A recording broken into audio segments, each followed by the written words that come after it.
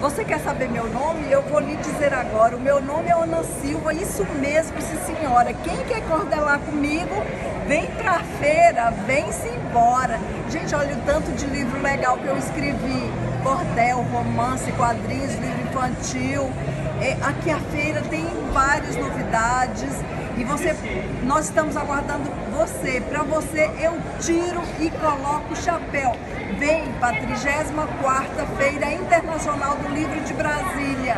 Aguardamos você. Vem-se embora.